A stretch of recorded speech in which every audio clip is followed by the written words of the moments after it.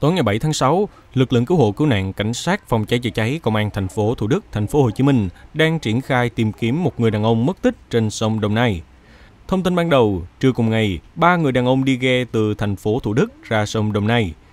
Khi đến đoạn qua phường Long Trường, thành phố Thủ Đức, giáp với huyện Nhân Trạch, tỉnh Đồng Nai, thì gặp sóng mạnh làm lật ghe. Lúc này, ba người đàn ông chới với giữa sông kêu cứu.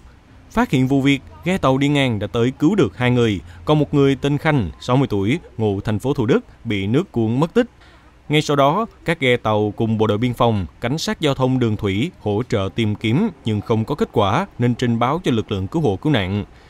Do đoạn sông rộng, nước chảy xiết khiến quá trình tìm kiếm gặp nhiều khó khăn. Riêng chiếc ghe cũng đã bị nước nhấn chìm.